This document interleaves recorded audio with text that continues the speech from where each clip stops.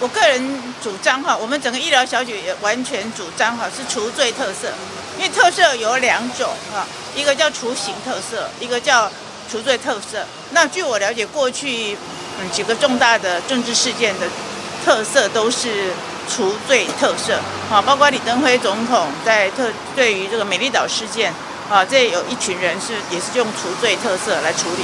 阿扁总统时代也有所谓，我记得是杨如门。啊，杨如门先生也是用除罪特色。那除罪特色的理由是因为扁案自始至终都是属于政治事件。哈，那我想我最大的三个基础理由是：第一个，它违反了法学的最基本的原则，法学 A B C。啊，第一个就是无罪推定，哈，这个不成立。哈，第二个程序正义，哈，也不成立。第三个，当时只有蓝绿两个阵营，蓝绿要同一个标准，哈，也不成立。好，所以三个这个最基本的法学原则不成立下，我们认为这个扁案是一个完全的政治事件。好，所以我们主张是除罪特色。不过党内有没有讨论过这件事情？那党内有共识吗？哎，不好意思，党内没有讨论这件事情。好，这是我不管是我个人哈，我是代表立委，或是哎代表我曾经参与这个陈总统医疗小组，或在我担任北社社长的时候，哈，我们承担起这个部分的这个责任。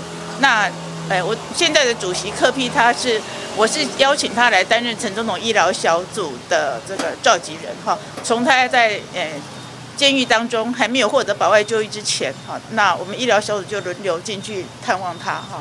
然后我觉得那也是建立后来，后来就是在马先生时代能够作为保外就医的一个基本基础。哎。那我再问一下，因为现在有消息传出，就是这个民进党团因为在立院这个没有比较没有人数优势，那私底下有在找白委来合作，就是希望私底下透过啊跟白委在其他议题预算案上面合作，挖这个绿白河的地道，有可能吗？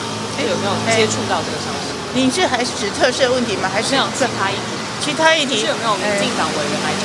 希望因为目前我不是三长哈，我不是三长，那但是据我了解，好像。哎，还没有直接啊，很正式的有这个正式，不管是公开或者是下讲，据我了解是应该还没有开始这样做。